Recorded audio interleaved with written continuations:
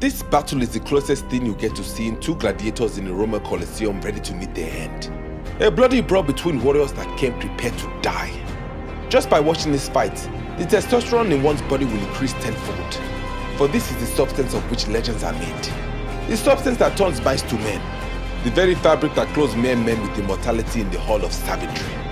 For many men speak of being a savage. Few are willing to pay the price. These two paid in blood. Savage.